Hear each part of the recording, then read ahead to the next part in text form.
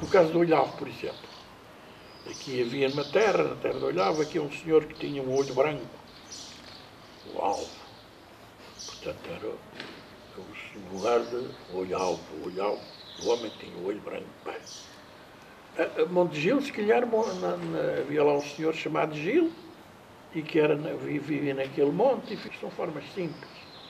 São formas simples de tentar explicar coisas complicadas. Que é o caso de, de, enfim, das, razões, das razões dos nomes das terras. Aldeia Gavinha. Aldeia Gavinha não há nenhuma história. No entanto, havia aí uma pessoa que dizia que, sabe, esta terra nem sempre foi aqui. Aldeia Gavinha começou lá embaixo, junto ao rio. Mas houve uma peste grande e, e, as pessoas vieram para aqui e aqui começou, começou digamos, a, a nova, a nova aldeia.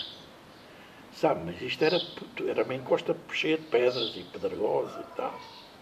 E então a, a, as pessoas agarraram-se aqui a esta zona pedregosa, como as gavinhas das, das videiras se agarram às terras, e enfim a terra foi trepando, ou melhor, foram, as casas foram trepando pela, pela colina acima. É, enfim, é uma descrição mais poética do que real. Mas, de qualquer modo, é outra tentativa de explicação. Porquê? Porque chama aldeia Gavinha.